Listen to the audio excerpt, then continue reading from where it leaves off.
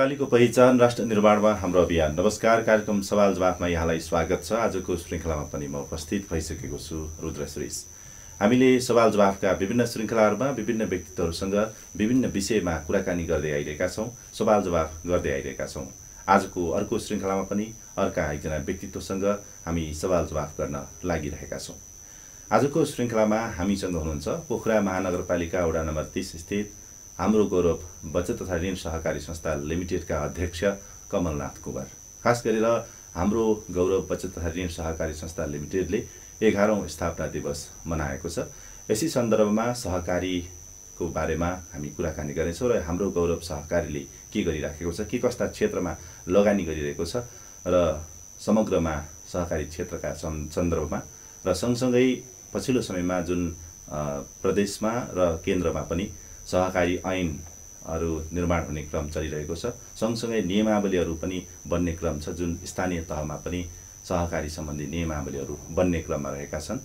त्यस सन्दर्भमा समेत केन्द्रित रहेर खास गरी ती ऐनहरू ती नियमावलीहरूले अहिले सहकारीहरूलाई के कस्तो असर पारिरहेको छ अथवा ती जुन सहकारीहरूका सरकारहरू छन् ती कुराहरू ती सरकारहरू ती ऐन र नियमावलीहरूमा समेटिने अवस्था के छ भन्ने सन्दर्भमा पनि आजको श्रृङ्खलामा हामीले उहाँसँग कुराकानी गर्नेछौँ। सर्वप्रथम म कार्यक्रममा उहाँलाई स्वागत गर्न चाहन्छु। स्वागत छ यहाँलाई कार्यक्रम हस् धन्यवाद। आराम हुनुहुन्छ हजुर आराम के छ यो सहकारीले एघारौँ स्थापना दिवस पनि मनायो कसरी मनाउनु भयो यो हाम्रो गौरव बजथा ऋण सहकारी संस्था पुरानो लेखनाथ बाह्र थियो भने हाल परिवर्तित अवस्थामा पोखरा महानगरपालिका वडा नम्बर तिस खुदी ढुङ्गे पाटमा अवस्थित छ। यसमा हाम्रो सहकारीले एघारौँ वर्ष दसौँ वर्ष पुरा गरेर एघारौँ स्थापना दिवसको रूपमा हामीले आफ्ना सहकारीका सम्पूर्ण समितिका सदस्यज्यूहरू उपसमितिका सदस्यहरू र होल बडी सबै हामी र कर्मचारीहरू बसेर सहकारीको जुन एउटा हर्षोल्लास साथ खुसी साथ भनौँ एउटा केक पनि एउटा प्रचलन अनुसार केक पनि काटेर सबै खुसियाल साथ यो सहकारीलाई अझ आउँदा दिनहरूमा अझ प्रगति उन्नति गर्ने एउटा सन्देश पनि जाओस् भन्ने हिसाबले हामीले हर्षोल्लास साथ चाहिँ एघारौँ स्थापना दिवस मनायौँ। हजुर। अहिलेसम्म यो एघारौँ वर्षमा प्रवेश गर्दासम्म होइन खास गरी यो सहकारी स्थापना भए यताको समयलाई हेर्दाखेरि चाहिँ कस्तो पाउनुहुन्छ? प्रगति उन्मुख अथवा त्यो प्रगतिको स्तर चाहिँ कहाँसम्म पुग्यो सहकारी अब यसबाट हामी जुन एघारौँ स्थापना दिवस मनाउँदाखेरि हामी ज्यादै नै एउटा रोमाञ्चित अथवा ज्यादै खुसी साथ मनाइरहेका छौँ। स्थापना कालमा हामी लगभग सडसठी लाख जतिको पुँजीको थियो भने एक सय साठी बैसठी कति साथीहरू हुन्छ एकदिन मैले अहिले जस्तो लाग्छ बैसठी त्रिसठी त्रिसठी साथीहरूकोबाट से सहकारी दर्ता भएको थियो र सानो पुँजी थियो र क्रमिक रूपमा हामीले त्यो अवस्थामा त्यहाँका गाउँ र त्यहाँका स्थानीयवासीहरू व्यापारी उद्योगी किसान शिक्षक कर्मचारीहरूको चाहिँ एउटा समूहले जुन बौद्धिक स्तरका साथीहरू पनि भएर हामीले त्यहाँ स्थापना गऱ्यौँ र केही साथीहरूलाई बुझाउनु पनि सहकारी हाल्दाखेरि र विगतका सहकारीको इतिहासले गर्दा हामीले दुई हजार छैसठी साल वैशाख तेइस गते हामीले स्थापना जुन स्वीकृत लियौँ त्यो अवस्थामा केही साथीहरू यसको क्रियाकलाप यसले कस्तो किसिमको भूमिका खेल्छ अथवा यसबाट हामीले के लाभान्वित हुन्छौँ भन्ने कुराहरूमा हेरिरहनु पनि भएको थियो। र जुन संस्थापन कालमा हामीले गर्ने साथीहरू र कार्य समितिमा बस्ने साथीहरूले ज्यादै मेहनत साथ ज्यादै मृदुवयता अप्नाएर त्यो स्थापना गरियो र हामी दिन प्रतिदिन रूपमा सदस्य सङ्ख्याहरू पनि वृद्धि हुँदै गयो पुँजी पनि वृद्धि हुँदै गयो र जुन एउटा ब्याङ्किङ क्षेत्र नपुगेको अहिले त ज्यादै अब ब्याङ्किङहरूको चाहिँ शाखा प्रशाखाहरू खोल्ने क्रमहरू बढिरहेको छ। तैपनि त्यो अवस्थामा एउटा ब्याङ्कमा राख्ने एउटा ढुकुटीको रूपमा आफ्नो चाहिँ घरमा राख्ने एउटा बाकस को भन्दा सुरक्षित र व्यवस्थित किसिमले भनेको बेलामा सेवा सुविधा पाउने हुनाले सबै हाम्रा वरिपरिका सेयर सदस्यहरू लगायत अन्य सदस्यहरू सदस्यहरू पनि यसबाट चाहिँ एकदम लाभान्वित हुनुभयो र हाम्रो जुन कारोबार प्रतिदिन प्रतिदिन बढ्दै गएर आज हामी एउटा उन्नतिको एकदम अगाडि बढिरहेका छौँ। हजुर। जस्तो सहकारीले खास गरेर एउटा बचत गर्ने बानीको विकास गर्नलाई पनि यो सहकारीको महत्त्वपूर्ण भूमिका छ। यहाँले सहकारी स्थापना गरेपछि त्यो बचत गर्ने बानीको विकास पनि अवश्य पनि भयो होइन? एउटा कुरा। अर्को कुरा भनेको उद्यमको विकास गर्नको निम्ति पनि सहकारीले अवश्य पनि मद्दत पुर्याउँछ। यो सन्दर्भ बचत गर्ने बानीको विकास र उद्यमको विकासको सन्दर्भमा चाहिँ के के कस्ता प्रगतिहरू भएको छ? अब खास गरी हामीले जुन एउटा ब्याङ्किङ कार्यक्रम हामीले सुरुवात गऱ्यौँ सुरुदेखि सबै ब्याङ्कमै आउन् अ, आफ्नो डिपोजिट गरौँ र ऋण ल्याउन् आफ्नो अब भन्दा पनि सर्वप्रथम त हामीले बजारमा गाउँमा घर टु भनौँ डोर टु डोर प्रत्येक घरमा चाहिँ गएर तपाईँहरूसित जति पैसा छ दैनिक रूपमा जम्मा गर्ने मासिक रूपमा कसरी जम्मा गर्न सक्नुहुन्छ भनेर हामीले बजार प्रतिनिधिहरू खटायौँ र हाम्रा सेयर सदस्य लगा- लाई का घर दैलोमा हामीले चाहिँ आफ्ना प्रतिनिधि पठाएर उनीहरूसित जे जति रकम छ त्यसलाई ल्याएर हामीले चाहिँ डिपोजिट गरेर यो तपाईँ डिपोजिट गरेर घरमा राखेको अ, पैसा भन्दा तपाईँले त्यहाँ डिपोजिट गर्नुभयो भने त्यसको केही दैनिक बचत पनि पाउनुहुन्छ लाभ नै हुन्छ। तपाईँको घरमा भने हराउने मुसाले चोर्ने अथवा चाहिँ असुरक्षित छ भने हामीसित राख्दाखेरि सुरक्षित छ। तपाईँहरूले चाहिँ के- छ भन्दाखेरि दैनिक सक्नुहुन्छ दैनिक व्यवसाय दैनिक आय हुने नत्र मन्थली रूपमा तपाईँको कमाइबाट थोरै भए पनि चाहिँ जम्मा गर्नुहोस् भन्ने हुनाले हामीले बजार प्रतिनिधि मार्फत उहाँहरूलाई बचत गर्ने प्रणाली यसबाट लाभान्वित हुन्छ। आवश्यक परेको खण्डमा तपाईँहरूले झिक्न सक्नुहुन्छ। आवश्यक परेको तपाईँलाई खाँचो पर्दाखेरि ऋण पनि लिन सक्नुहुन्छ भन्ने सन्दर्भ बुझाएर उहाँहरू चाहिँ बाट हामीले चाहिँ बचत गर्ने बानी सिकाएका छौँ र अब जुन आफूलाई पर्ने अब उद्योगको सम्बन्धमा कृषि पशुपालन व्यापार अब आदि जस्ता सामान्य छन् भने अलि व्यावसायिक रूपमा पनि उद्योग व्यापार वाणिज्य होइन यस्ता किसिमहरूमा चाहिँ वैदेशिक रोजगार जानेहरूलाई पनि हामीले चाहिँ उहाँहरूलाई सपोर्ट गरेर यसमा चाहिँ लगानी गर्ने गर्नु भएको छ जसबाट हाम्रा सेयर सदस्यहरू साह्रै खुसी पनि हुनुहुन्छ हामीले दिएको सेवाबाट। हजुर। यो सहकारीबाट जस्तो अब त्यहाँबाट ऋण लिएर उद्यम गर्ने अथवा व्यवसाय गर्ने कुरा त एउटा भइहाल्यो होइन। मूलत यो वित्तीय सहकारी नै भएको हुनाले बचत र ऋण कारोबार नै मुख्य भयो। त्यसका अलावा सहकारीको तर्फबाट अहिलेसम्म यहाँहरूले कुनै क्षेत्रमा त्यस्तो लगानी गर्नु भएको छ कि छैन सहकारीकै तर्फबाट चाहिँ?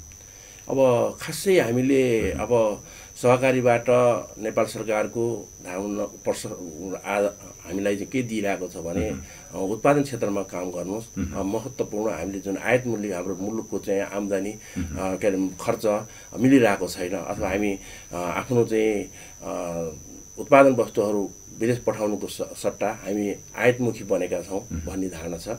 तर पनि पहिलो हामीले अहिलेसम्म हामीले आफ्नो सहकारी तर्फबाट केही उत्पादन गर्ने कुराहरू हामीले गर्ने भ्याइसकेका छैनौँ गरिरहेका छैनौँ। तर गत हामीले जन्म गत साधारण सभाबाट हामीले एउटा पञ्चवर्षीय योजना साथीहरूले बनाउनु भएको छ। र अब हामी एउटा उत्पादन क्षेत्रमा जानुपर्छ भन्ने किसिममा चाहिँ हामीले लागिरहेका छौँ।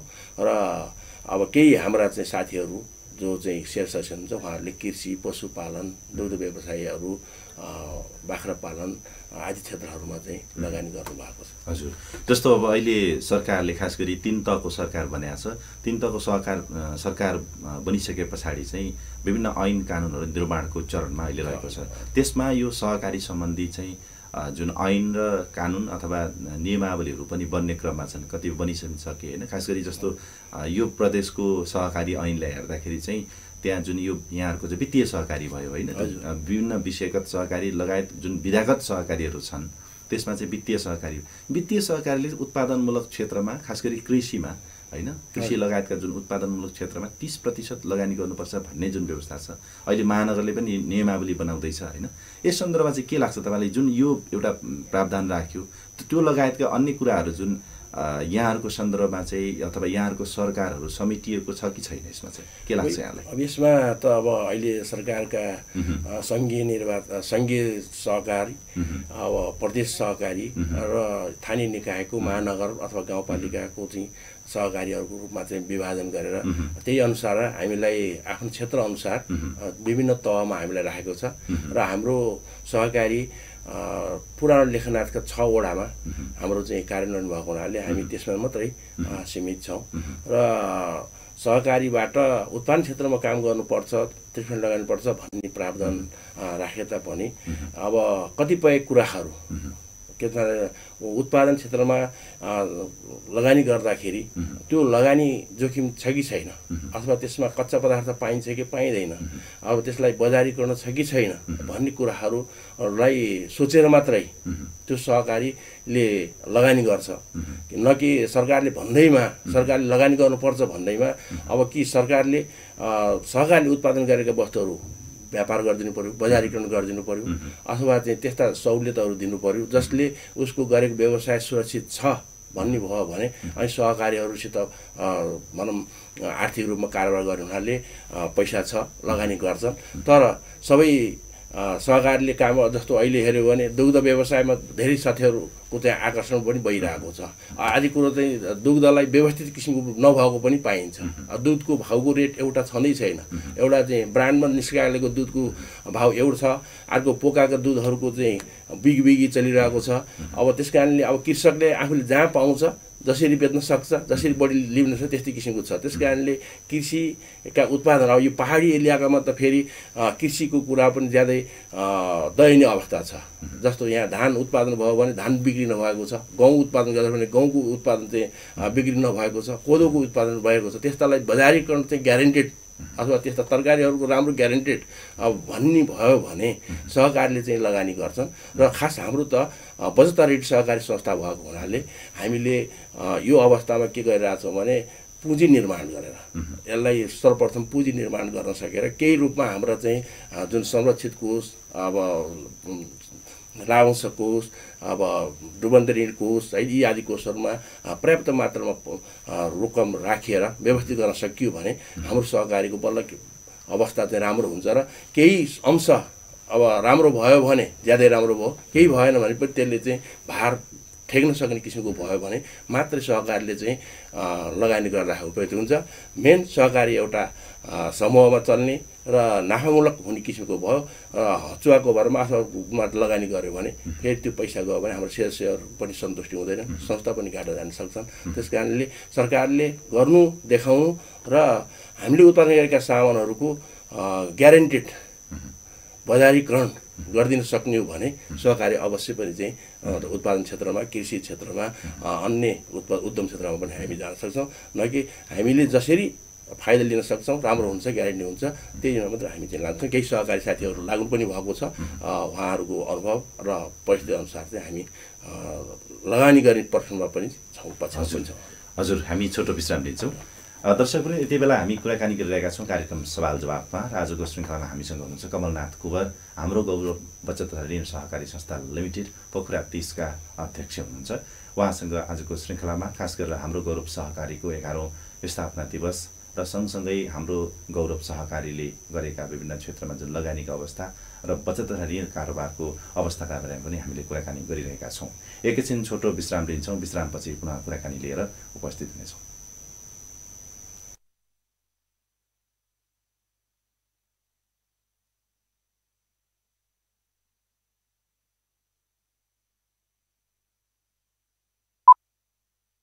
श्रीकृष्ण गोविन्द हरे मुरारी हे नाथ नारायण वासुदेव होइन रातामुखे काका कृष्ण भोग जिरा मसिनो चामलले त मोहनी नै लगाइदियो नि अरू चामलमा त फिटिकै आँखै जाँदैन सबै गृहिणीहरूको रोजाइ नै कृष्णभोग जिरा मसिनो चामल भएपछि कसको के लाग्छ होइन र यो कृष्णभोग जिरा मसिनो चामलको व्यापार गर्दा गर्दै यो कालो कपाल फुलेर सेतामै भइसक्यो छोरा हुर्केर लाथे भइसक्यो सबै परिवर्तन भइसक्यो।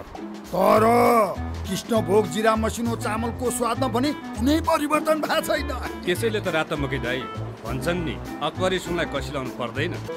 बुझ्नेलाई यो कुरो भारी नबुझ्नेलाई बारी अब तपाईँको सहर पोखरामा। सुन जस्तो धानको मोती जस्तो चामल कृष्ण भोग। शुभ आगमन दुई हजार छत्तरलाई एलजीको शुभकामना सम्पूर्ण नेपालीलाई। ओठमा मुस्कान छर्ने खुसीको रङ्ग भर्ने नयाँ वर्षको हर्षोल्लास एलजीसँग आयो खुसीको हाँसो परिवारमा छायो। यो नयाँ वर्ष दुई हजार छयत्तर एलजीका सामानहरूसँग गर्नुहोस् आफ्नो खुसीको अपग्रेड साथै एलजीका सामानहरूमा त्रिचालिस प्रतिशतसम्मको क्यासब्याक तथा आकर्षक उपहारहरू प्राप्त गर्नुहोस्। एलजी जीवन सुन्दर छ। एकैछिनको छोटो विश्रामपछि पुनः स्वागत छ। कार्यक्रम सवाल जवाफमा हामी रहेका छौँ। र आजको श्रृङ्खलामा हामीले कुराकानी गरिरहेका छौँ। कमलनाथ कुँवरजी हुनुहुन्छ। उहाँ हाम्रो गौरव बचत ऋण सहकारी संस्था लिमिटेड पोखरा त्यसका अध्यक्ष हुनुहुन्छ। उहाँसँग आजको श्रृङ्खलामा हामीले खास गरी हाम्रो गौरव सहकारीको एघारौँ स्थापना दिवसका सन्दर्भमा कुराकानी गरिरहेका छौँ। हाम्रो गौरव सहकारी कसरी अगाडि बढिरहेको छ र आफ्नो कारोबारलाई कसरी अगाडि बढाइरहेका छ भन्ने सन्दर्भमा हामीले कुराकानी गरिरहेका छौँ। सँगसँगै सहकारी क्षेत्रका विभिन्न समस्याहरूका बारेमा पनि कुराकानी गरिरहेका छौँ।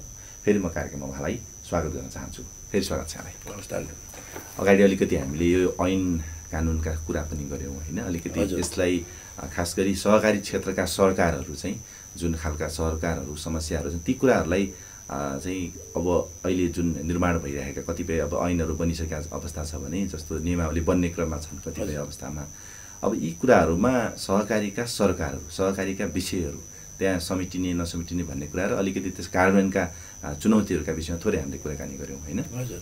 अब समग्रमा चाहिँ भन्दाखेरि जुन जति पनि अघि मैले भनेको जस्तो यो यहाँहरूको वित्तीय सहकारीहरूलाई खास गरी र अन्य विषयगत सहकारी जुन छन् तिनलाई आफ्नो ढङ्गले एउटा विधागत हिसाबले चाहिँ यो यो खालको प्रावधान राख्नुपर्छ भनेर त्यसरी ऐन र नियमावलीमा समेटिएका कुराहरू बेला बेला छलफल पनि भइरहेको छ अब यसमा अर्को कुरा भनेको जस्तो मर्जरको कुरा आइरहेको छ होइन? सहकारीहरूसँग मर्जर गर्ने कुरा। अर्को कुरा चाहिँ अब पुँजी एकीकृत गर्ने कुरा होइन? विभिन्न सहकारीहरूको पुँजी एकीकृत गरेर अलिक ठुला ठुला परियोजनाहरूमा चाहिँ लगानी गर्नुपर्छ भन्ने खालका कुराहरू पनि आइरहेको छ। यो सन्दर्भमा चाहिँ जुन अहिले बनिरहेको कानुन ऐन छ यसलाई कार्यान्वयन गर्ने सन्दर्भमा चाहिँ खास के गर्यो भने चाहिँ यो साँच्चीकै कार्यान्वयन हुन सक्ने अवस्था देख्नुहुन्छ अब यसमा अब सरकारले जुन अब सहकारी ऐन जुन दुई हजार चौहत्तर गरेको छ त्यसले केही परिमार्जन गर्न खोजिरहेको छ। जसमा एक व्यक्ति एउटा विषयगत सहकारी हुनुपर्ने जुन धारणा राखिरहेको छ। र धेरै मान्छेहरू गाउँको सहकारी आफ्नो छरछिमेकीको सहकारी धेरै साथीहरूको आन धेरै सहकारीहरूमा चाहिँ संलग्न छन्। र जुन एउटा सहकारीमा धेरै सदस्यता हुनु कारण विभिन्न क्षेत्रमा चाहिँ समावेश हुने कुनै स्पष्ट नीति नभएको कारणले पनि चाहिँ भइरहेका छन्। अब सरकारले एक व्यक्ति एक सहकारी अथवा एउटा विषयको सहकारीमा हुनुपर्छ भन्ने किसिमको काम चाहिँ गरिरहेको छ। अब त्यसलाई कसरी नियमन गर्ने भन्ने कुरा जसरी ब्याङ्किङ सेक्टरहरूमा चाहिँ जुन नागरिकता नम्बरबाट हाल्दाखेरि चाहिँ जुन कोड गर्छ त्यसलाई अलिक कार्यान्वयन गर्ने पक्षमा गयो। अहिले कोपोम्यास भन्ने चाहिँ जुन सहकारीमा आबद्ध हुन्छु त्यसैमा तपाईँहरू फर्म भर्नुहोस् भन्ने किसिमको पनि कुराहरू आइरहेको छ नियम बनाइरहेको छ। र यसले सहकारीहरूमा धेरै एउटै भयो भने यो ज्यादै राम्रो कुरो पनि छ। किन भन्दा एउटै सहकारीले आफूलाई चाहिने ऋण लगानी डिपोजिट सबै सुविधा दिन्छ भने दसौँ सहकारीमा किन सदस्य हुनु जरुरी छ? त्यो आवश्यकता छैन। र त्यो यो मेरो अपनत्व भन्ने मेरै सहकारी किसिमको चाहिँ वातावरण बन्छ र केही अहिले मानिसहरूमा पनि भावना त के छ?